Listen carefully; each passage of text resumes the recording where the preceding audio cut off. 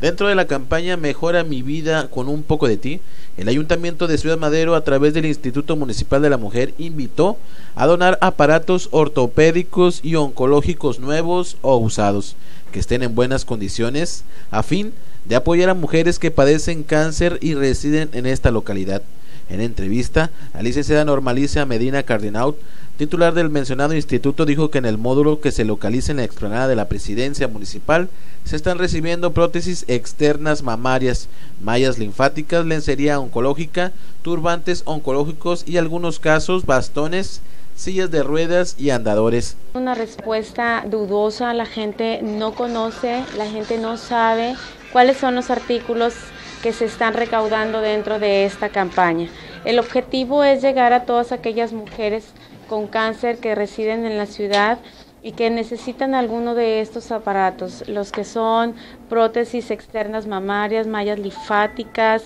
eh, lencería oncológica, turbantes oncológicos, en algunos casos bastones, sillas de ruedas, andadores. ¿Por qué? Porque bueno, los tratamientos que se utilizan dentro de la lucha contra el cáncer son muy agresivos, afectan la salud de la mujer, afectan su cabello, afectan algunas partes de su cuerpo como vienen siendo las glándulas mamarias y bueno, el objetivo es invitar a la gente a que donen a que donen alguno de estos artículos oncológicos nuevos o usados. Indicó que el próximo lunes dará inicio la campaña Dona tu cabello en la explanada de la presidencia que será utilizado para la elaboración de pelucas oncológicas y los requisitos son tener como mínimo 30 centímetros de largo, que el cabello no esté pintado, no teñido ni con permanentes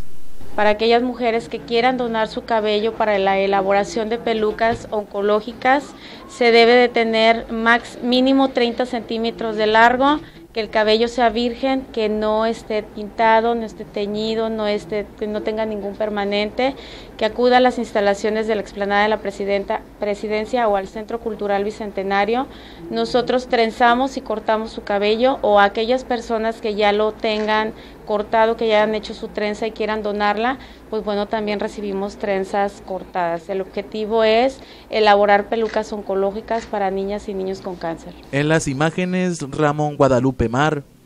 Oscar Mascorro, Noticieros Canal 9.